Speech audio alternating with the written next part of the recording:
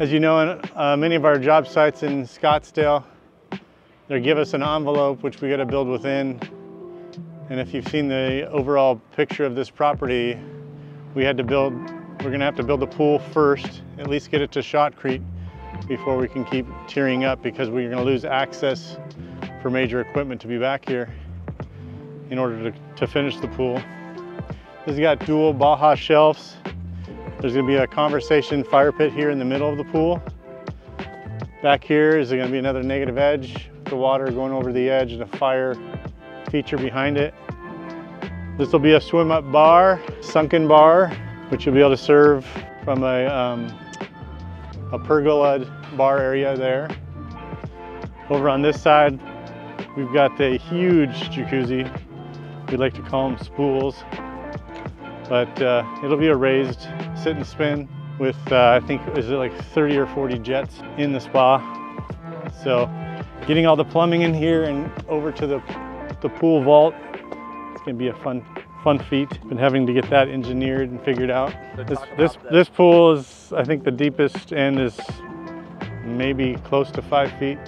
So it's kind of a party pool. It's just for wading in water and conversing, talking, and playing games. The white pieces, the white forms that you see on the uh, pool right now, these are the outside uh, of the bond beam that they will shoot to. There'll be a one foot thick wall around all of these uh, forms. So it's, it looks bigger than it is right now, slightly, slightly smaller. So the next steps on this pool is that they'll install all the plumbing and the electrical, and then they'll come in and do all the rebar forming around that so that uh, they can get it in without having to cut pipes. That's why you have to do the infrastructure first before you do the actual forming of the rebar. This is the finished elevation of the uh, bond beam. They set these to the right height and then they will build a wall that's a foot thick to encase the whole pool to hold the water. So this is uh, the pool deck. And the pool deck will go right up to here with a slight slope back to the uh, next planter. And then they'll have planters with steps there that will go up to, onto the patio height, which will be at the finished floor height of the house. And that's where all the, uh, that's where all the stuff that's gonna be that's underneath roof.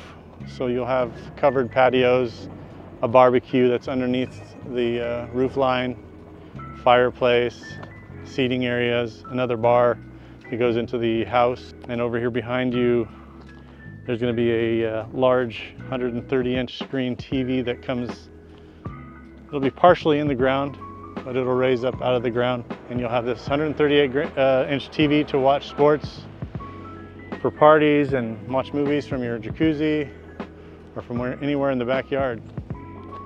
So that's kind of a new feature we just kind of added recently. And you have a little dog, dog lawn over here, right off the master suite so they can let their dogs out. And the next level down from the pool, we'll have steps and planters here that will bring you back down to another grassy area or turf area for just uh, sitting around and kids to play. And you see that little niche out of the uh, back wall, that'll be a little viewing deck that people can sit at and see the whole 360 view from there. Thanks for stopping by and looking at the pool here at Opulent Oasis. Give you a little better uh, view and idea of what's gonna happen back here.